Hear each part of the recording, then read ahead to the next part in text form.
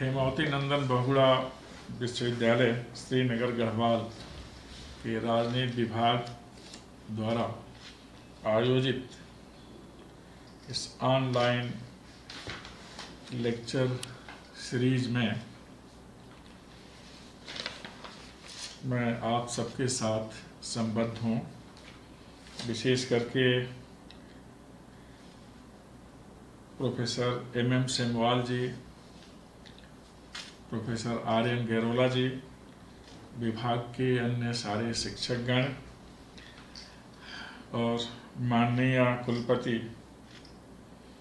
Professor Annapurna Nautiyal जी, जो इसी विषय की शिखर शख्सियत हैं और वे सभी जो आज इस कार्यक्रम से संबद्ध हैं, दर्शक के रूप में, श्रोता के रूप में अथवा अध्येता के रूप में। मुझे अतिशय प्रसन्नता है कि मैं आप लोगों के साथ इस कोरोना फ़ेज़ में संवाद कर रहा हूँ।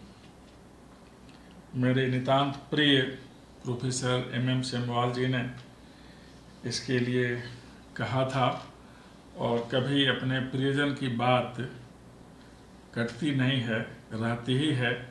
क्योंकि अपने प्रियजनों की बात रहने में अपना गौरव भी होता है, अपने को सुख भी मिलता है। विशेषकर राजनीति विज्ञान विषय से संबंधित जब कोई संवाद होता है तो हम लोगों के लिए विशेष हर्ष का विषय होता है, उस विषय का विद्यार्थी होने के नाते, अध्येता होने के नाते, अथवा उस विषय से संबद्ध होने के नाते। आप सभी को पता है कि आज की दुनिया एक संशय की दुनिया कही जाती है। जिसमें प्रत्यक्ष संवाद, प्रत्यक्ष मिलन और प्रत्यक्ष कार्यक्रम लगभग कठिन से हो गए हैं। आज हम भी आप लोगों से इस आभासी प्लेटफॉर्म पर मिल रहे हैं। आप सभी को मैं देख रहा हूँ, आप सबको मैं सुन भी पाऊँगा। लेकिन जो प्रत्यक्ष संवाद, मिलन, वार्ता का सुख होता है, वह निश्चित रूप से इस आभासी प्लेटफॉर्म पर नहीं होता। फिर भी एक अदृश्य अति घातक विषाणु ने पूरी दुनिया को, पूरी मानवता को और हमारे आप जैसे सभी लोगों को एक आभासी फलक पर लाकर खड़ा कर दिया है, जहाँ से हम मिल सकते हैं अथवा इस विश्व आपदा से मुक्ति का उपाय खोज सकते हैं और इस आपदा में भी एक दूसरे का संबल बन सकते हैं। आज जितने उपक्रम हैं विकास के शिक्षा से लेकर कार्यक्रमों के संपादन तक, कूटनीति, राजनीति, रणनीति, विदेश नीति, सबका संचालन इस आभासी प्लेटफॉर्म से ही हो रहा है। इसकी उपादेयता इसलिए भी है कि आपदा का सबसे बड़ा कारक, एकमात्र कारक वायरस कोविड नामक विषाणु, कोविड 19 नामक विषाणु अदृश्य है तो उसके प्रभाव मंडल में जो दृश्यमान व्यवस्था है, वह हिलती हुई व्यवस्था दृष्टिगत हो रही है। ऐसे में हम सभी उसका मुकाबला भी इस प्लेटफॉर्म के माध्यम से करने की कोशिश कर रहे हैं और जहाँ कहीं भी हम अवस्थित हैं, स्थित हैं, अध्यासित हैं, वहाँ से अपने मनोबल के द्वारा, शारीरिक श्रम के द्वारा एक निश्चित दूरी एक दूसरे के बीच में रखकर अपने दायित्वों का निर्वहन कर रहे हैं। एक मास्क हम लगा करके चलते हैं, जैसा आपने देखा आरंभ में मुझे। यह आवश्यक भी है, सैनिटाइजर का प्रयोग करते हैं। बचत के लिए हम बिल्कुल समाज से दूरी तो नहीं, समाज में एक दूसरे से एक निश्चित दूरी रखते हैं और यह प्रक्रिया चल रही है। इस आपदा से दुनिया किस दौर में पहुँच गई है थोड़ा हम उस पर विचार कर लें। राजनीति को संभावनाओं का खेल कहा जाता है और अंतर्राष्ट्रीय राजनीति तो शक्ति की राजनीति होती है। राष्ट्रीय स्तर पर अथवा अंतर्राष्ट्रीय स्तर पर संभावनाएँ और शक्ति, सत्ता की प्राप्ति और सत्ता के नायक और सत्ता के किरदार, राज्य और जनसंख्या, सभी इस दायरे में आ जाते हैं। इसलिए जब भी हम अंतर्राष्ट्रीय राजनीति की बात करते हैं, अंतर्राष्ट्रीय मंच की बात करते हैं तो त्वरित हमारे दिमाग में यह व्यवस्था आती है कि वह अंतर्राष्ट्रीय जिसके कर्ता एकमात्र राज्य और केवल राज्य हैं, उनके बीच में संबंध भी किस प्रकार के चलते हैं। क्या राष्ट्रीय राजनीति की तरह वहाँ भी सत्ता प्राप्त के खेल होते रहते हैं? कोई राष्ट्र स्वयं इतना समर्थ हो जाता है कि वर्चस्ववादी नीतियों का अनुपालन करने लगता है? कोई राष्ट्र क्या आर्थिक समृद्धि से इतना प्रभावी हो जाता है कि दुनिया के अन्य क्षेत्रों में अपनी धमकदार उपस्थिति अंकित कराने के लिए सामरिक मेधा का प्रयोग कर लेता है? अथवा कोई राष्ट्र सांस्कृतिक दृष्टि से इतना समुन्नत हो जाए कि अन्य देश उसकी तरफ़ निगाह लगाकर देखें? अथवा क्या कुछ वैचारिक आधार पर इस प्रकार की स्थितियाँ बनती हैं कि सभी राष्ट्र उस तरफ़ देखें और उस विचारधारा से अपने को प्रभावित करने की कोशिश करें? ये सब ऐसे मानक होते हैं जिनसे अंतर्राष्ट्रीय राजनीति का निर्धारण होता है। बहुत अतीत में न जाएँ तो द्वितीय विश्व युद्ध के बाद की जो दुनिया थी, उसमें शक्ति के दो गुट बन गए। मूलतः विचारधारा प्रभावित गुट थे। एक पूंजीवादी, उदारवादी विचारधारा और दूसरी साम्यवादी, दृढ़तावादी विचारधारा थी। साम्यवादी विचारधारा के पोषक राष्ट्रों को आयरन कंट्री का देश कहा जाता था लौह आवरण का देश। जहाँ पूंजीवादी उचारवादी देशों में लोकतांत्रिक प्रक्रिया थी, खुलापन था, वहाँ साम्यवादी देशों में बहुत ज़्यादा प्रतिबंध थे। खुलापन का कोई विचार भी नहीं था। एक दल, एक विचारधारा के साथ होना उस देश के निवासियों की नियत थी। इस शीत युद्ध के दौर में दो शक्ति गुट उठे। एक संयुक्त राज्य अमेरिका के नेतृत्व में नाटो और सोवियत संघ के नेतृत्व में वार्सा पैक्ट, यह अवधि लंबी नहीं चली। उन्नीस सौ नवासी नब्बे में सोवियत संघ का बिखराव हो गया, नए उसके जो प्रांत थे, नए राज्यों में बदल गए। इस तरह एक सामरिक गुट वार्सा पैक्ट तो नहीं रहा, लेकिन दूसरा सामरिक गुट नाटो बना रहा। सामरिक गुटों का अस्तित्व तो इसलिए होता है कि उसके समान, उसके प्रतिस्पर्धा में खड़ा होने वाला कोई दूसरा समूह हो प्रतिस्पर्धी राष्ट्र हो अथवा वैरी समूह हो, लेकिन यह स्थिति नहीं रह गई। सोवियत संघ रूस में बदल गया, वहाँ भी लोकतांत्रिक व्यवस्था स्थापित हो गई और आज पुतिन के नेतृत्व में वह राष्ट्र दुनिया की एक महत्वपूर्ण महाशक्ति है। अमेरिका के नेतृत्व में नाटो रहा, नाटो का औचित्य सिद्ध हुआ, फिर आतंकवाद के विरुद्ध अभियान में और पूरी दुनिया ने साथ भी दिया अमेरिका का आतंकवाद के निर्मूलन में। लेकिन सोवियत संघ के बिखराव के बाद जो द्विध्रुवीय दुनिया थी शक्ति स्पर्धा के दृश्य बाईपोलर वर्ल्ड उसका स्वरूप बदल गया। कहा जाने लगा कि अब दुनिया यूनिपोलर हो गई है। उसका सबसे महत्वपूर्ण केंद्र संयुक्त राज्य अमेरिका है और इसमें कोई संशय भी नहीं रह गया था। लेकिन भौगोलिक दृष्टि से, जिसे हम जियो कहते हैं दुनिया जब भी होगी बाईपोलर ही होगी। यूनिपोलर वर्ल्ड हो ही नहीं सकता। क्योंकि जियो पॉलिटिक्स का सिद्धांत है कि दो ही पोल होंगे, उत्तर और दक्षिण। तो इसलिए बेहतर शब्द इसके लिए होना चाहिए था, जो है यूनिपोलर वर्ल्ड हो गई दुनिया। यूनिपोलर वर्ल्ड के स्थान पर प्रयुक्त होना चाहिए यूनिपीलर वर्ल्ड एक स्तंभी दुनिया।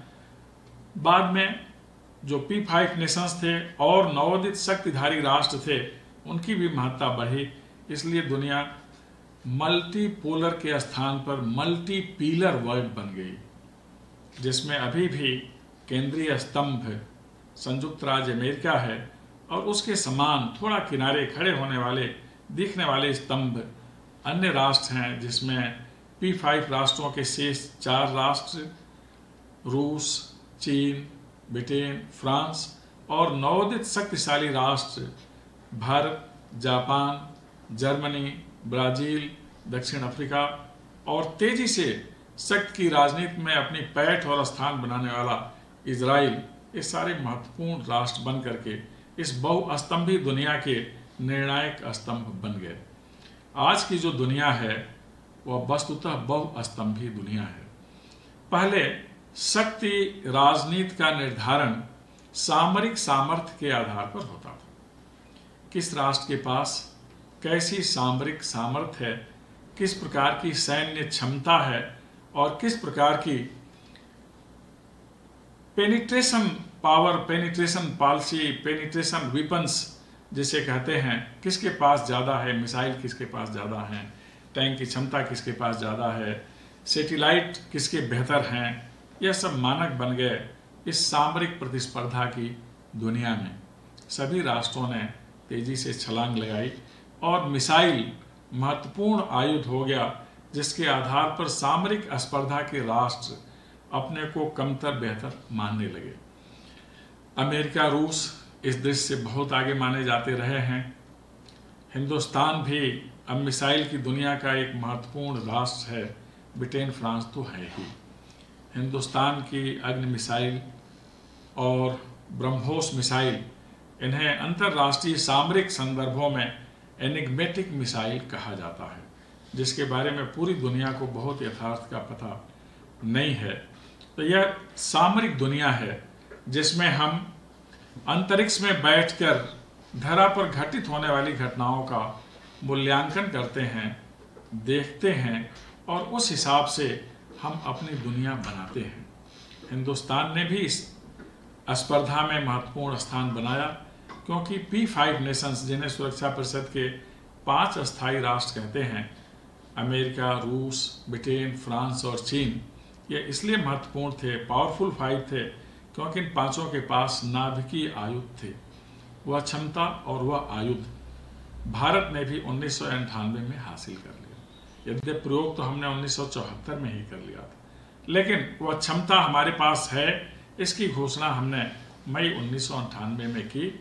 जब अपने परमाणु परीक्षण के बाद कैप्शन हमारा जो था, बुद्ध मुस्कुराए, उसकी घोषणा करते हुए तत्कालीन प्रधानमंत्री माननीय अटल बिहारी वाजपेयी जी ने कहा कि अब हम नाभिकीय शक्ति संपन्न राष्ट्र हैं।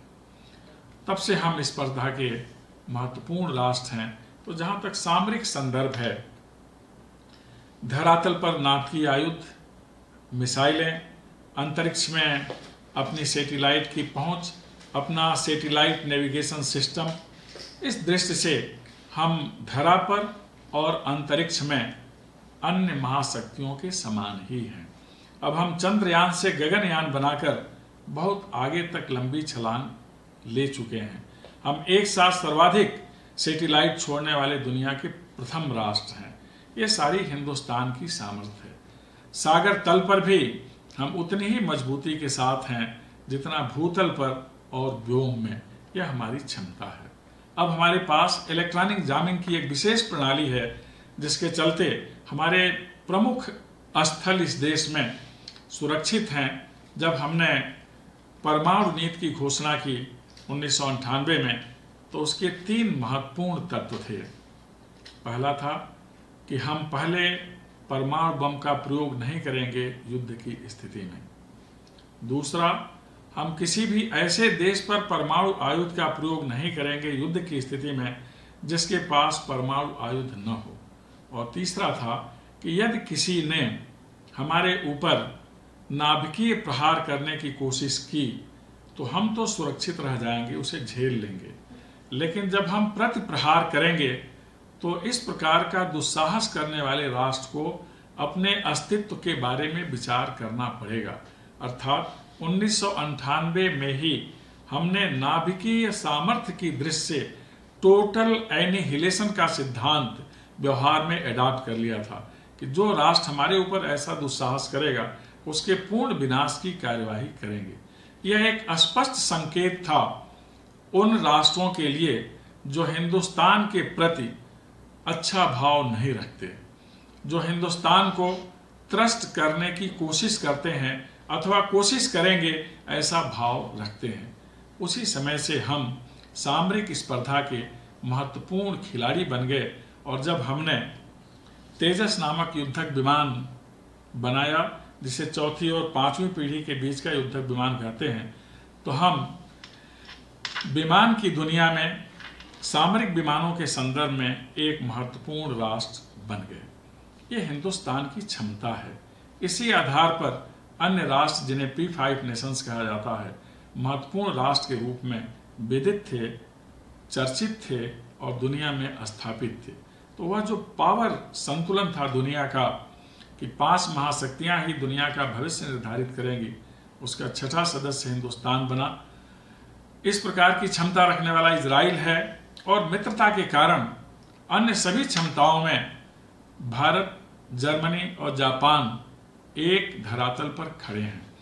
तो इसलिए शक्ति संतुलन, शक्ति स्पर्धा, शक्ति मानक और शक्ति नियंता होने की स्थिति में अब इतने राष्ट्र दुनिया में आकर खड़े हो गए। पहले सामरिक दृष्टि से दुनिया की क्षमता और शक्ति निर्धारकों का मूल्यांकन और आकलन किया जाता था। लेकिन उन्नीस से जब से दुनिया में एलपीजी का दौर चला, उदारीकरण, निजीकरण और भूमंडलीकरण का, तब से आर्थिक सामर्थ्य ज़्यादा महत्वपूर्ण हो गई। उदारीकरण के दौर में संचार क्रांति हुई, सूचना का विस्फोट हुआ, जो राष्ट्रों की जटिल सीमाएँ हैं, संचार क्रांति के चलते शिथिल हो गई। पूंजी निवेश, पूंजी प्रवाह, सेवा संदर्भ का प्रवाह, सूचनाओं का प्रवाह यह आसानी से होने लगा। एक नई आर्थिक दुनिया बन गई और जिसमें समाज भी आर्थिक समाज के रूप में परिवर्तित हो गया। पहले हम केवल मानव समाज की चर्चा करते थे। आज के समाज को हम मार्केट सोसाइटी कहते हैं, बाज़ार समाज कहते हैं। अब नए विपणन केंद्रों की तलाश होने लगी। पहले शक्ति स्पर्धा में हम उन राष्ट्रों की तलाश करते थे जो हमारे आयुध खरीदे। इस वाणिज्यिक प्रतिस्पर्धा में जो भौतिकवादी दुनिया है, इसमें सुख सुविधा के संसाधन बहुत तेज़ी से उत्पादित हुए।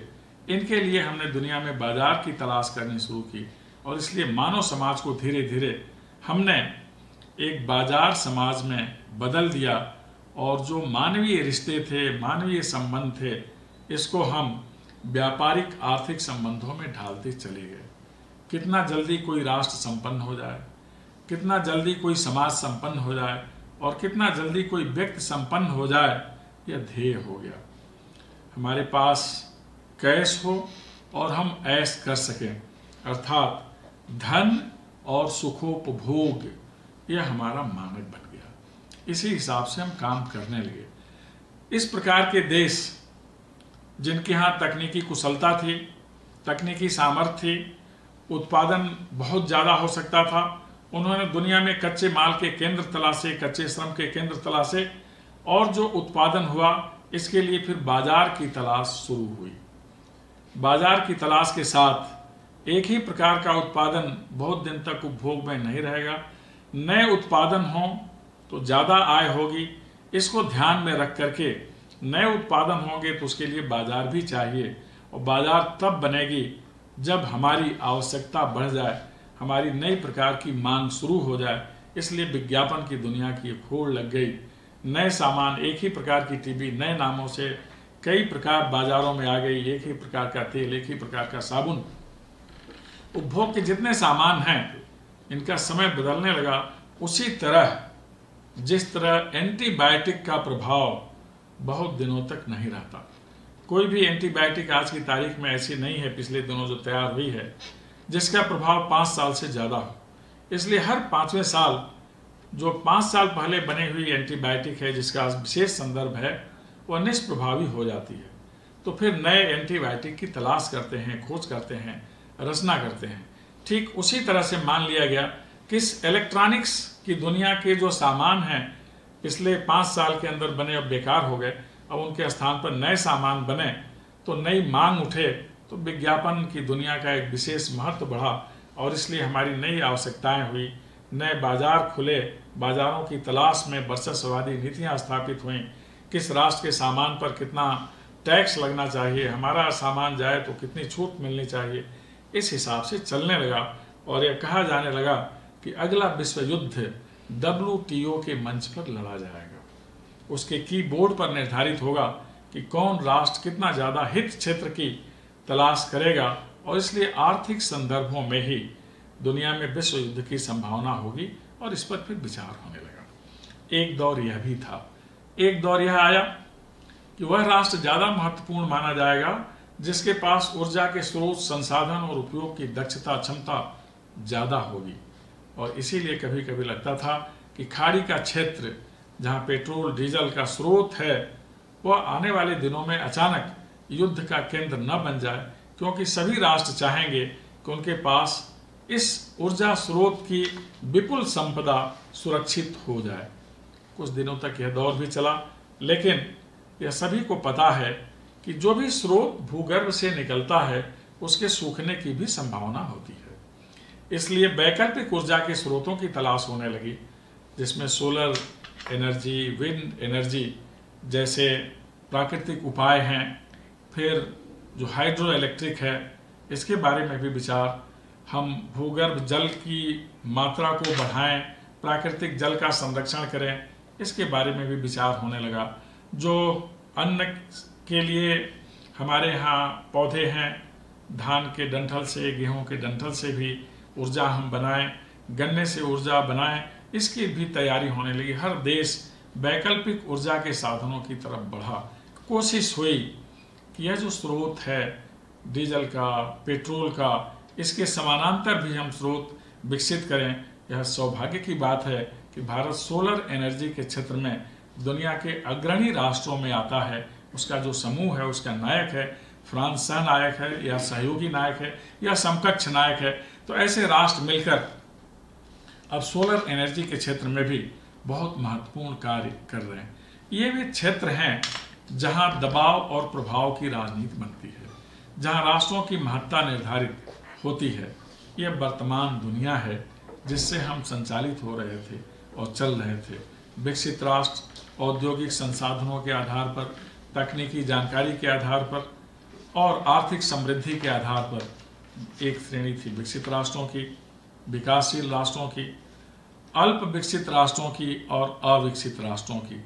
और यह सब तय होता था प्रति व्यक्ति आय के हिसाब से, जीवन स्तर के हिसाब से और सुख के साधनों के हिसाब से। इस वायरस ने कोविड 19 नामक वायरस, जिसके मूल में हमारा पड़ोसी एक देश है, उसके चलते पूरी दुनिया की व्यवस्था ही हिल कर रह गई आज दुनिया में जितने प्रकार के राष्ट्र हैं, जिन्हें भौगोलिक, आर्थिक, सामरिक, वैचारिक दृश्य या संगठनात्मक दृष्टि समुन्नत राष्ट्र मानते हैं, आज सभी एक धरातल पर खड़े हैं। सबके सामने एक ही समस्या है, कोरोना से मुक्त होने की समस्या, अथवा कोरोना नामक वायरस को निष्क्रिय करने का लक्ष्य है सभी राष्ट्रों के पास। ऐसे में कुछ ऐसे भी राष्ट्र हैं जो अकारण सीमा पर विवाद उत्पन्न करने की कोशिश करते हैं, यह जानते हुए कि इतिहास बार बार नहीं दोहराता है। यह जानते हुए कि कोई अध्याय इतिहास का अंतिम अध्याय नहीं होता है। यह जानते हुए कि कोई आज लिखा जाने वाला पन्ना इतिहास का आखिरी पन्ना नहीं होता है। यह जानते हुए भी कि हिंदुस्तान की 130 करोड़ से अधिक की आबादी आज एक साथ खड़ी है और इस देश में मोदी जी जैसा महानायक है, जिसे झुकना नहीं आता, जिसे पुरानी बातों को भूलना नहीं आता, जिसके अंदर पुरानी गलतियों को करने वाले समूहों को, राष्ट्रों को क्षमा करने का भाव जिसके अंदर नहीं आता। यह पता है प्रतिस्पर्धी राष्ट्र को कि मोदी जी के पास ईश्वर ने सिर्फ़ शक्ति और सफलता की सामर्थ्य दिया है और यह अंश दिया है। जिससे वह किसी भी मुकाम को हासिल कर सकते हैं और जो भी हमारे प्रति प्रतिकूल भाव रखेगा, उसको उसी की भाषा में समझाकर और उसके विनाश का पथ प्रशस्त कर सकते हैं। यह जानते हुए भी एक ऐसा राष्ट्र है जो सीमा पर हिंदुस्तान के साथ हलचल की कोशिश करता है। अर्थात मान लेना चाहिए कि अब उसकी नियति उसे पतनोन्मुख बनाने वाली है। मैं चर्चा कर रहा था सामरिक संदर्भों की आर्थिक संदर्भों की, वैचारिक संदर्भों की, आज कोरोना के प्रभाव में सभी दुनिया कोरोना के प्रभाव से मुक्त होने की कोशिश कर रहे हैं। दुनिया के जितने भी राष्ट्र हैं, जितने शक्तिशाली राष्ट्र हों, ज़्यादा ही आक्रांत हैं। संयुक्त राज्य अमेरिका की स्थिति ठीक नहीं। हमारे मित्र रूस, अमेरिका, फ्रांस, ब्रिटेन जैसे राष्ट्र हैं, इनकी स्थिति ठीक नहीं। हमारा अत्यधिक घनिष्ठ और मित्र राष्ट्र ऑस्ट्रेलिया है, उसकी स्थिति भी बहुत ठीक नहीं, लेकिन तुलनात्मक दृष्टि से यूरोपीय राष्ट्रों से अगर ऑस्ट्रेलिया की तुलना करें तो ऑस्ट्रेलिया आज बेहतर स्थिति में है कोरोना को निष्प्रभावी करने के संदर्भ में। अभी हाल में मोदी जी की वार्ता भी हुई ऑस्ट्रेलिया के प्रधानमंत्री से, और इस वार्ता को ऑस्ट्रेलियाई समोसा और गुजराती खिचड़ी की कूटनीति, राजनीति कहा जाता है, और उसी के चलते आज कूटनीति का एक नया नाम भी हो गया है, जिसे वर्चुअल डिप्लोमेसी कहते हैं, आभासी कूटनीति। इस पर चर्चा और थोड़ी आगे करेंगे। तो आज जो संदर्भ है, इसमें दुनिया के सामने यही लक्ष्य है कि अब तक हमने जो सामर्थ्य अपनी मानी, सुख सुविधा के साधनों के आधार पर मानी। आवागमन के द्रुत साधनों की रचना के आधार पर मानी। ऊर्जा के उपभोग के संदर्भ में अपनी सामर्थ्य को माना, प्रति व्यक्ति आय के हिसाब से माना, हमारा पूंजी निवेश कहाँ कहाँ तक है इसके आधार पर माना। हमारे साथ कितनी बहुराष्ट्रीय कंपनियाँ हैं जो अन्य देशों में जाकर उत्पादन कर रही हैं, इसके आधार पर माना, अथवा इस आधार पर माना कि हमारे पास अन्य राष्ट्रों की मुद्रा का कितना भंडार है, जिसे विदेशी मुद्रा भंडार कहते हैं। इस आधार पर वैश्विक शक्ति प्रतिस्पर्धा की तुलना हो रही थी, सामर्थ्य की तुलना हो रही थी। एक ही झटके में प्रकृति ने यह सब खत्म कर दिया। अब जिसके पास जितनी समृद्धि है, उसके दिमाग में है अथवा उसके बैंक में है अथवा उसके संस्थानों में है, वह उपयोग और उपभोग के लिए नहीं है। एक व्यक्ति के पास हज़ार मकान हो सकते हैं, दस मकान हो सकते हैं। आज तो एक ही मकान में रहना पड़ रहा है। सैकड़ों गाड़ियाँ हो सकती हैं। आज एक ही गाड़ी का प्रयोग करना पड़ रहा है। बहुत तेज चलने वाले विमान हो सकते हैं। और सारे विमान विमान तल पर खड़े हैं रनवे से आगे नहीं जाना। बहुत अच्छी गाड़ियाँ हो सकती हैं ट्रेन हो सकती हैं। सब कहीं न कहीं स्थिर है। अर्थात, आज दुनिया सम धरातल पर खड़ी है। केवल एक ही आशा, अभिलाषा के साथ हम बढ़ रहे हैं कि यह जो विषाणु है, पूरी मानवता के जीवन के सामने जिसने संकट उत्पन्न कर दिया है इसका समाधान हम कहाँ से लाएँ? और वह समाधान है औषध विज्ञान। कि हमारे पास हमारी जनसंख्या का जो भी अंश, जो भी हिस्सा पीड़ित हो रहा है तो त्वरित निदान का उपाय कहाँ से लाएँ? हॉस्पिटलों में वेंटिलेटर कितने होने चाहिए? आमतौर पर हर हॉस्पिटल में इमरजेंसी वार्ड होता है तो कुछ लोगों के लिए होता है। माना जाता है इमरजेंसी तो बहुत कम होती है rarest among the rare cases में इमरजेंसी आती है और ऐसे लोगों के लिए ज़रूरी होती है। इसलिए वेंटिलेटर की संख्या सभी हॉस्पिटल्स में नाम मात्र की ही हुआ करती थी। अब वेंटिलेटर बढ़ाए जा रहे हैं। पीपीई पर्सनल प्रोटेक्शन इक्विपमेंट यह होना चाहिए। हम किसी से मिलने जाएँ तो टेस्टिंग किट ऐसे होने चाहिए कि इस आपदा के बारे में जानकारी हो सके, अगर कोई संक्रमित व्यक्ति है तो उसके बारे में हम ठोस सूचनाएँ ले सकें और निदान कर सकें। आज के हालात में हर राष्ट्र इसी की तैयारी में लगा है। कोई बड़ा हॉस्पिटल बना रहा है, उस हॉस्पिटल में वेंटिलेटर और बेड की संख्या बढ़ा रहा है। ये हालात हैं आज दुनिया के। सबसे पहले अगर दुनिया की निगाह गई तो भारत पर। प्रधानमंत्री मोदी जी ने जब लॉकडाउन की घोषणा की और कोरोना के चेन को तोड़ने का सफल प्रयास किया और उन लोगों के लिए जो आज की स्थिति में हमारे लिए अपने प्राण की, अपनी सुरक्षा की परवाह न कर बाहर निकले, उनके लिए माननीय मोदी जी ने ताली थाली और फिर प्रकाश की व्यवस्था की।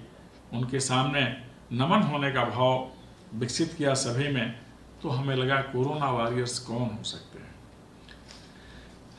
देवालय से निकलकर देवी देवता औषधालय में पहुँच गए। डॉक्टर के रूप में, नर्स के रूप में, वार्ड बॉय के रूप में सपोर्टिंग स्टाफ के रूप में, फिर दवा विक्रेताओं के रूप में ये वॉरियर्स बने। फिर सुरक्षा प्रहरी हमारे कोरोना वॉरियर्स बने, जो समाज में शांति व्यवस्था और सुरक्षा के लिए लगे हुए पुलिसकर्मी हैं हमारे परिवार के सदस्य। सीमा की सुरक्षा के लगे हुए जो सैन्य तंत्र में लोग हैं, हमारे जवान हमारे परिवार के लोग, इन सब के प्रति हमने नमन भाव रखा, रखना चाहिए और वो हमारे लिए बंधनीय है। स्वैच्छक सफ़ाई कर्मी या जो सेवा क्षेत्र में लगे हुए लोग हैं, जिन्हें हाउस कीपर्स कहते हैं हाउस कीपिंग से जुड़े हुए लोग, ये सब हमारे लिए बंधनीय है। वे लोग जो हमारे पास संसाधन पहुँचा रहे हैं, अन्न, सब्ज़ी, औषधि, ये सब बंदनी है। ये सब कोरोना वॉरियर्स हैं। वे पत्रकार जो हमें अधुनातन सूचनाओं से अवगत करा रहे हैं। हमें केंद्र, राज्य सरकार, स्थानीय प्रशासन के निर्देशों, संदेशों को पहुँचा रहे हैं। हमें आगाह कर रहे हैं, सतर्क कर रहे हैं। हमारी हमारी बात पहुँचा रहे हैं, हमारे साथ खड़े हो रहे हैं। जहाँ हम कहीं हैं, वहाँ स्वयं उपस्थित होकर समस्याओं के समाधान में अपनी सार्थक भूमिका निभा रहे हैं। आज से लेकर जब से पहले से सभ्यता का इतिहास है इतनी सकारात्मक भूमिका मीडिया की रही हो मुझे याद नहीं है। वो बंदनी है, उनका भी बहुत ज़्यादा श्रेय है। वह भी वास्तविक कोरोना वॉरियर्स हैं और हमारे राष्ट्र नायक जो प्रतिपल अग्रिम मोर्चे पर खड़ा होकर देखते हैं। आज की स्थिति में दुनिया ने अगर पहले कहीं निगाह दौड़ाई तो मोदी जी की तरफ़, इस भारत की तरफ़, कि आपके यहाँ जो मलेरिया से निदान की औषधि है, उसे आप दुनिया भर में भेजें। और पूरी दुनिया ने, भले डब्ल्यू एच ओ उसके बारे में, चीन के प्रभाव में चलकर कुछ भी कहा हो, लेकिन आज सबने मान लिया कि हमारे यहाँ मलेरिया उन्मूलन का जो उपाय है, वह इस विषाणु के प्रभाव को कम करने के लिए सबसे कारगर तरीका है। हमारे पास जो वनौषधियाँ हैं, वह आज की तारीख में हमारी प्रतिरोधक क्षमता बढ़ाने में सबसे ज़्यादा सफल हैं। तुलसी का पत्ता, नीम का पत्ता, गिलोय घृत कुमारी यह सब सबसे महत्वपूर्ण है। अदरक, हल्दी का पाउडर, ये सब इम्यूनिटी बढ़ाने वाले पदार्थ हैं। आज दुनिया ने इसे स्वीकार किया। और इसीलिए वह क्षेत्र जहाँ मैं अवस्थित हूँ, जिसे जनजातीय अंचल कहा जाता है, इसके सेवन के कारण यहाँ के निवासियों में प्रतिरोधक क्षमता बहुत अधिक है। पूरे भारत में तुलसी दल सुलभ है। तुलसी का वृक्ष पौधा है, जिसका सभी हम नमन करते हैं। उससे बेहतर एंटीबायोटिक पत्ती कोई हो ही नहीं सकती। पूरी दुनिया ने माना कि आज अगर संक्रमित लोगों के अंदर इस विषाणु का प्रभाव कम करने की क्षमता है तो हिंदुस्तान के औषधि क्षेत्र से निर्धारित औषधियों में है। इसलिए चाहे वो मलेरिया की दवा हो अथवा वनौषधियों का प्रयोग हो, इसके माध्यम से ही यह क्षमता अन्य देशों में आ सकती है। आज दुनिया ने स्वीकार किया कि योग के माध्यम से भी प्रतिरोधक क्षमता बढ़ती है। इसलिए इस कोरोना काल में हिंदुस्तान की तरफ़ सबकी निगाहें आ गई अब सभी औषधि उद्योग पर ध्यान दे रहे हैं। दूसरा उद्योग जिसके बारे में भारत बार बार बात करता रहा कि औद्योगिक आस्थानों के साथ ही साथ कृषि क्षेत्र में भी समन्वित विकास की आवश्यकता है। कोरोना के प्रभाव में जितने औद्योगिक आस्थान हैं, उनके यहाँ उत्पादन रुका। वहाँ काम करने वाले लोगों के सामने संकट आया। पूरी दुनिया में महानगरों का तो विकास हुआ, लेकिन महानगरों के निर्माण में लगने वाले कामगारों की व्यवस्था के लिए कोई ठोस योजना नहीं बनी। इसलिए महानगर इस संकट काल में ऐसे कामगारों को अपने यहाँ व्यवस्थित रूप से रख नहीं पाए। एक दूसरे प्रकार की यात्रा शुरू हुई। जिसे प्रतिगामी यात्रा कहते हैं। मूल स्थान को छोड़कर हम किसी स्थान पर गए थे, हरित क्रांति के लिए, औद्योगिक क्रांति के लिए, वह क्रांति थम गई। अब एक नई क्रांति आएगा जीवन रक्षक क्रांति। उसके लिए हम मूल स्थान की तरफ़ वापस लौटने लगे। उनके लिए गमनागमन के साधन पूरी दुनिया में नए तरीके से सुलभ कराए गए। नई समस्या आई, जो विकास की परिभाषा थी। महानगरों में होता है विकास। पहले कभी हुआ करता था, नदियों के किनारे विकसित होती है सभ्यता। आजकल हो गया है, सड़कों के किनारे विकसित होती है सभ्यता। सब कुछ बदल गया। अब पुनः मूल स्थान पर लोग आने लगे और वहाँ उन परिवारिक जनों के साथ मिलकर, जिनकी सुख सुविधा के लिए वह बाहर गए थे वह सुरक्षित रहने लगे। अर्थात जिस स्थान को सुंदर और विकसित बनाया, वहाँ बनाने वालों के लिए बेहतर स्थान नहीं था। अगर बेहतर स्थान मिला तो अपने मूल स्थान पर प्राचीन कहावत ही सही है। माँ की गोद में जितना सुख है, वह अन्यत्र नहीं है। भारत हमारी माँ है। यह सुख हमें सर्वत्र एक समान मिलता है और मिलता रहेगा। लेकिन यह जो धरा के ऊपर विचरण का विधान है, अब नए तरीके से इस पर विचार हो रहा है कि जहाँ भी निर्माण के काम में हमारे कामगार जाएँ, वहाँ उनके रहने और जीवन यापन की सम्यक व्यवस्था भी होगी। नई नीति का एक महत्वपूर्ण हिस्सा है। ऐसा काम, ऐसी नीतियाँ अन्य देशों में भी बननी चाहिए। पूरी दुनिया में इस मानव कल्याण के संदर्भों में, अपने लोगों को सुविधा देने के संदर्भों में, आज दुनिया एक अग्रणी आदर्श राष्ट्र है। औषधि और बनौषधि का प्रयोग किस तरह से किया जाए, इसका एक श्रेष्ठ राष्ट्र है, जिसके प्रति दुनिया के अन्य देशों की निगाह लगी हुई है। इस कोरोना के 19 के बाद का जो शक्ति संतुलन होगा, उसमें प्रमुख क्षेत्र होंगे औषधि और कृषि के क्षेत्र। हमारे यहाँ कहा जाता है कि हिंदुस्तान की सभ्यता तो ऋषि और कृषि की सभ्यता है, उद्योग और अध्यात्म की सभ्यता है, अहिंसा और सहयोग की सभ्यता है साथ साथ चलने की। इसी सभ्यता को दुनिया अब स्वीकार करेगी। पूरी दुनिया ने मान लिया है कि अगर कहीं टकराव होता है तो उसका समाधान हिंदुस्तान की परंपरागत व्यवस्था, मान्यता, नीति, सिद्धांत और विचार अहिंसा में ही है। हमारे यहाँ मान्यता है, अहिंसा परमो धर्म श्रुतयुक्त स्मार्थ एवं इसलिए अब अहिंसा के रास्ते से यह हिंदुस्तान की पंचशील का जो सिद्धांत है, साथ साथ रह लेना जिसका अंतिम है पीसफुल को एग्जिस्टेंस ये बहुत ज़्यादा महत्वपूर्ण है। अब दुनिया को स्वीकार करना पड़ेगा कि हिंदुस्तान की शांतिपूर्ण सह अस्तित्व की विचारधारा ही दुनिया के लिए उपयोगी विचारधारा है। हम सहयोग तब करेंगे जब एक दूसरे से वैमनस्य नहीं रखेंगे।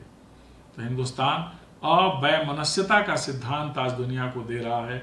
मानवता के रक्षण के लिए एक साथ खड़े होने का सिद्धांत दे रहा है।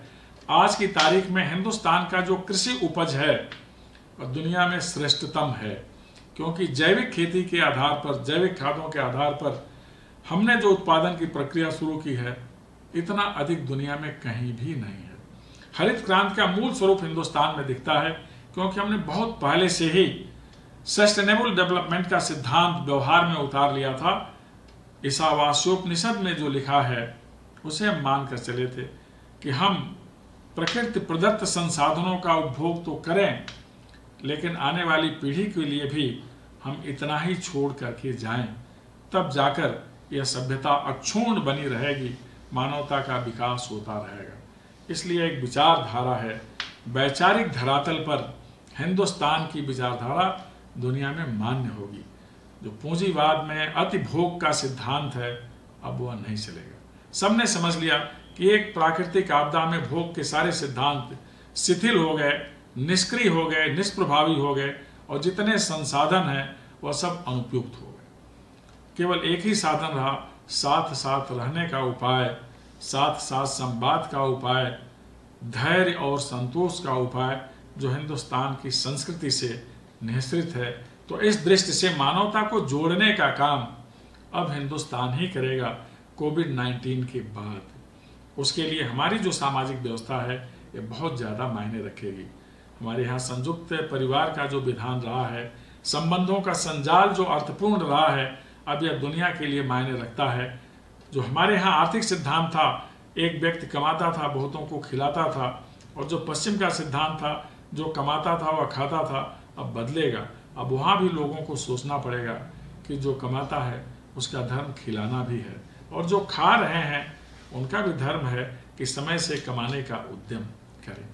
हमारे यहाँ मान लिया गया कि जो हमारा पुरातन था और आज का जो अधुनातन है, दोनों के बीच समन्वय महत्वपूर्ण है।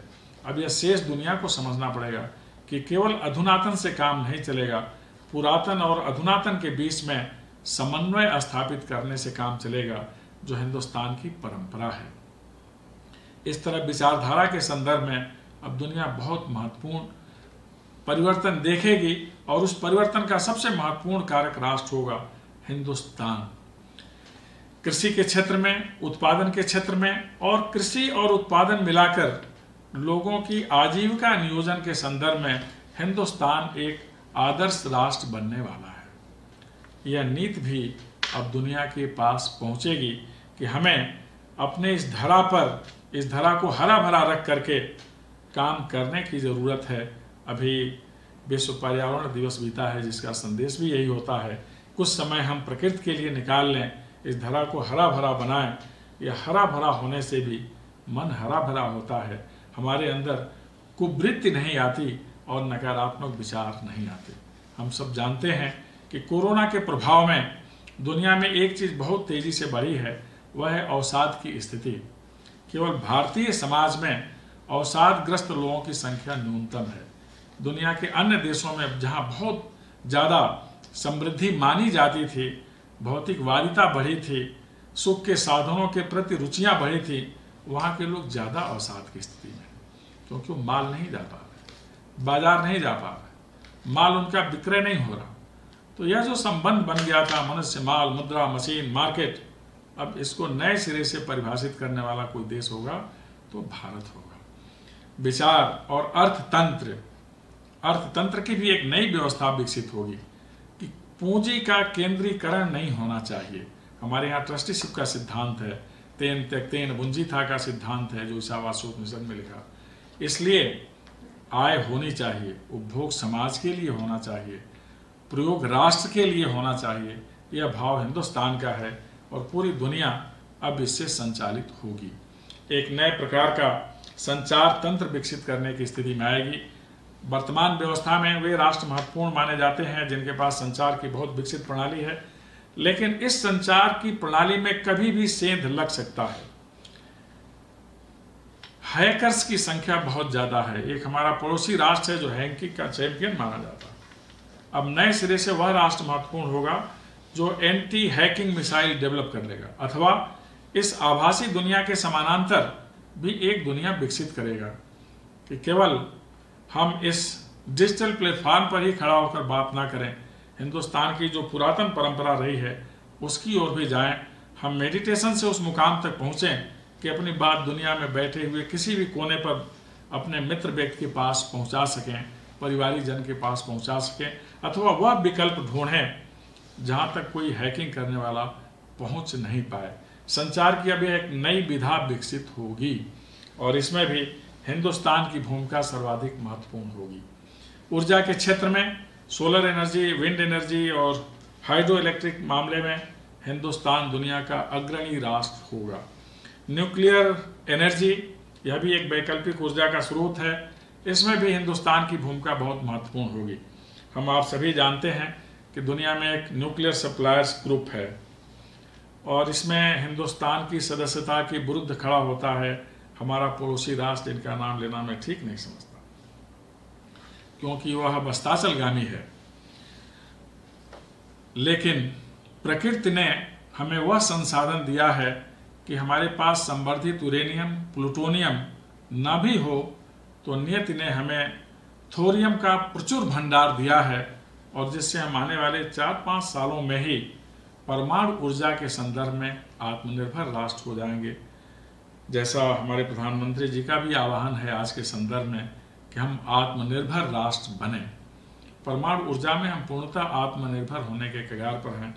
दुनिया को विदित है कि जितने परमाणु शक्तिशाली राष्ट्र हैं, उन्होंने या तो संवर्धित यूरेनियम से परमाणु बम बनाया है, अथवा प्लूटोनियम से।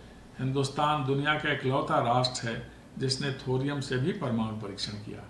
ये सामर्थ्य है हिंदुस्तान के परमाणु वैज्ञानिकों की। यह सामर्थ्य यहाँ के नेतृत्व की। इसलिए हम ऊर्जा के संदर्भ में बहुत ज़्यादा दूसरे राष्ट्रों पर निर्भरता से बचेंगे। हमारे मित्र राष्ट्र हैं, खाड़ी के, जो आज की तारीख में हमारे बहुत ज़्यादा करीब हैं। इसलिए जो परंपरागत ऊर्जा का स्रोत है, इसका विपुल भंडार भी भारत के पास रहेगा। मित्र राष्ट्रों की उदारता, सहयोग और निकटता के चलते जितने भी हमारे मित्र राष्ट्र हैं, एक को छोड़ दें, दो राष्ट्रों को छोड़ दें तो सभी मित्र राष्ट्र हैं। और वो केवल हमारे दो पड़ोसी राष्ट्र। तो ऐसी स्थिति में हिंदुस्तान ऊर्जा की दुनिया का अग्रणी राष्ट्र बनने वाला है। आज की जो स्थिति है, सेटेलाइट की दुनिया, उसमें भी हम बहुत महत्वपूर्ण हैं। हम जानते हैं कि हमारे सेटेलाइट कैसे सुरक्षित रहेंगे। हमारे एक पड़ोसी राष्ट्र ने किलर सेटेलाइट का प्रयोग किया और वह भूल गया कि इस प्रकार की जो तकनीक होती है, उस पर किसी एक राष्ट्र का पेटेंट नहीं होता है। दुनिया के अन्य देशों के वैज्ञानिकों के पास भी सामर्थ्य होती है, वो सामर्थ्य। सभी उन राष्ट्रों के पास है जो आज अंतरिक्ष में चहलकदमी कर रहे हैं। ये हिंदुस्तान की सामर्थ्य है। सेटेलाइट की दुनिया में, सागर तल की दूरी नापने में, वहाँ अपनी पंडबियों के मामले में, और जो युद्धपोत हैं उसके मामले में, हिंदुस्तान दुनिया के महत्वपूर्ण राष्ट्रों में एक है। सामरिक नीति का निर्धारण हो, उसमें वैचारिकता की स्थिति हो उसमें, सांस्कृतिक समृद्धि की बात हो उसमें, हिंदुस्तान संगम संस्कृति का देश है। कभी सैमुअल प्री हंटिंगटन ने कहा कि आने वाली दुनिया में टकराव संस्कृतियों के बीच होगा, अब वह नहीं चलने वाला। हिंदुस्तान का सिद्धांत चलेगा कि आने वाले दिनों में संस्कृतियों में संवाद होगा, संगम संस्कृति की महत्ता होगी, समन्वयवादी संस्कृति की पहचान दुनिया को करनी पड़ेगी। तो संस्कृति की से हिंदुस्तान दुनिया का महत्वपूर्ण राष्ट्र बनेगा, जहाँ की संस्कृति में प्रकृति बंधन है, जहाँ की संस्कृति में लैंगिक समानता है, नारियों के लिए सम्मान, बुज़ुर्गों के लिए सम्मान, बच्चों के लिए अनुराग, ये हिंदुस्तान की संस्कृति है। और जहाँ की संस्कृति में साथ साथ चलने का भाव है। तो यह संस्कृति आगे चलेगी। सांस्कृतिक संदर्भों में भी दुनिया को निकट लाने में हिंदुस्तान की महत्वपूर्ण भूमिका होगी। एक शक्ति का क्षेत्र है संयुक्त राष्ट्र संघ और उसकी सुरक्षा परिषद। जितने विशिष्ट अभिकरण हैं अभी डब्ल्यू एच ओ में नेतृत्व की स्थिति में हिंदुस्तान है और पूर्व व्यवस्था के अंतर्गत संयुक्त राज्य अमेरिका जैसे राष्ट्र को उसके प्रति अपनी अस्वीकृति और असहमति व्यक्त करनी पड़ी। आने वाले दिनों में हिंदुस्तान की पहल पर पुनः संयुक्त राज्य अमेरिका उससे जुटेगा और वहाँ सही बात ही कही जाएगी। डब्ल्यू एच ओ दुनिया में व्याधियों के निर्मूलन में उपयोगी संगठन बनेगा। कोई बात छिपाने का संगठन नहीं बनेगा। इसी तरह अंतर्राष्ट्रीय श्रम संगठन या जितने विशिष्ट उपकरण हैं, अन्य जो संस्थाएँ हैं, मौद्रिक संस्थाएँ, विश्व बैंक, अंतर्राष्ट्रीय मुद्रा कोष, वहाँ हिंदुस्तान की भूमिका महत्वपूर्ण होने वाली, सबसे ज़्यादा जो महत्वपूर्ण स्थिति है कि वह समय ज़्यादा दूर नहीं, जब सुरक्षा परिषद की अस्थायी सदस्यता हिंदुस्तान को मिले। भारतीय जनता की एकता, राष्ट्र की अखंडता, समृद्धि, सोच, विचार, सामरिक सामर्थ्य, आर्थिक समृद्धि, सबके आधार पर हमें वह स्थान मिलना है। अब दुनिया एक नई कूटनीति के प्रभाव में आने वाली है, जिसे मोड डिप्लोमेसी कहते हैं, मोदी जी की कूटनीति। आज की तारीख में दुनिया के इकलौते नायक हैं, जो रणनीति, कूटनीति और विदेश नीति तीनों में पारंगत हैं। वह सब प्रकार की डिप्लोमेसी जानते हैं। वह स्विंग डिप्लोमेसी भी जानते हैं। सॉफ्ट पावर से हार्ड पावर में कैसे कन्वर्ट हो जाएगा, यह भी वह जानते हैं। वह आँख में आँख मिलाकर भी जाना, मिलना जानते हैं। वह मुस्कुराते हुए भी मिलना जानते हैं। वह गले में गला मिलाकर भी मिलना जानते हैं। आज की तारीख में दुनिया के इकलौते नेता हैं, जिनके साथ सभी महाशक्तियों के नायक बैठना अपने लिए सुखद मानते हैं, अपने राष्ट्र के लिए उपयोगी और उपादेय मानते हैं। यह हमारे पास ऐसा नेतृत्व है।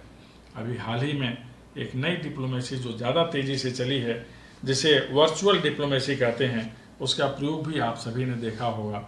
जब ऑस्ट्रेलिया के प्रधानमंत्री से मोदी जी की बात हुई, ऑस्ट्रेलिया में जो वहाँ के प्रधानमंत्री ने समोसा बनाया और जो गुजरात की खिचड़ी है, इस पर भी चर्चा हुई। महत्वपूर्ण समझौते भी हुए और विशेषकर हमारे सामरिक हित के समझौते हैं। केवल इस वर्चुअल डिप्लोमेसी में एक ही चीज़ नहीं होता। हम गर्मजोशी से एक दूसरे से नहीं मिलते। डिनर डिप्लोमेसी के लिए उसमें स्थान नहीं होता। कोई संयुक्त वक्तव्य नहीं आता और जो पर्सनल टच होता है, आसपास बैठकर, यह तो नहीं होता। हम डिजिटल दीवार के आर पार बैठते हैं। लेकिन सारी महत्वपूर्ण चीज़ें करते हैं जो होना चाहिए। पहले भी यह था, जब तिरसठ में अमेरिका और रूस के बीच में हॉट लाइन पर बात की व्यवस्था बनी फ़ोन के माध्यम से सिटी लाइट के माध्यम से। तो इसका प्रयोग पहले भी होता रहा है, लेकिन वर्चुअल प्लेटफॉर्म पर अब इसका त्वरित प्रयोग होने लगा है। अभी चार मई को मोदी जी ने नए सम्मेलन को संबोधित किया। फिर इस कोरोना से कैसे बचा जाए, हमारे पड़ोसी राष्ट्रों को सार्क के देशों को क्या ज़रूरत है, इस पर उन्होंने संवाद किया, इसी प्लेटफॉर्म से संवाद किया। तो आज वर्चुअल डिप्लोमेसी का भी ज़माना है। और आने वाले दिनों में इसकी उपादेयता रहेगी, लेकिन जैसे ही कोरोना फ़ेज़ खत्म होगा, प्रत्यक्ष मिलन होगा, सीधा संवाद होगा, और बहुत सारे निर्णायक फैसले होंगे, जिससे दुनिया को इस आपदा से मुक्ति मिलेगी और किसी ऐसे राष्ट्र की अतिवादिता से मुक्ति मिलेगी, जो अपने आसपास के राष्ट्रों के चयन में बाधा डालता है। आतंकवाद की समस्या का समाधान होगा और जो तकनीकी है अथवा ऊर्जा के संसाधन, उसकी पहुँच दुनिया के सभी देशों तक होगी, तभी यह दुनिया एक सुरम्य दुनिया होगी, एक सही दुनिया होगी और मानवता को संतोष, सुख और सुविधा देने वाली दुनिया होगी। इसके लिए ज़रूरी है, हमारा आपका सभी का अस्तित्व बचा रहे, बना रहे और हम सब जहाँ भी हैं, अपने दायित्वों का निर्वहन करते रहें। आने वाली दुनिया को कहा जाता है कि यह ज्ञान की दुनिया है। और ज्ञान की दुनिया में वही राष्ट्र सबसे महत्वपूर्ण होगा, जिसके पास ज्ञान शक्ति है। आइए हम सभी मिलकर विचार करें और वैसा ही व्यवहार करें। ज्ञान की धारा शिक्षालयों से निकलती है। हम सब मिलकर कुछ ऐसा करें कि आने वाली दुनिया में ज्ञान के संदर्भों में हिंदुस्तान दुनिया की महानतम शक्ति बने, जिसकी कामना हमारे प्रधानमंत्री जी की है और जिसका लक्ष्य उनका है और हम सभी भारतवासियों का है। मुझे पूरा विश्वास है कि आप हिंदुस्तान को सर्वशक्तिमान, समृद्ध, स्वच्छ, स्वस्थ और श्रेष्ठतम राष्ट्र बनाने में अपनी भूमिका का निर्वहन करेंगे। आपने ध्यानपूर्वक सुना। आपको बहुत बहुत धन्यवाद।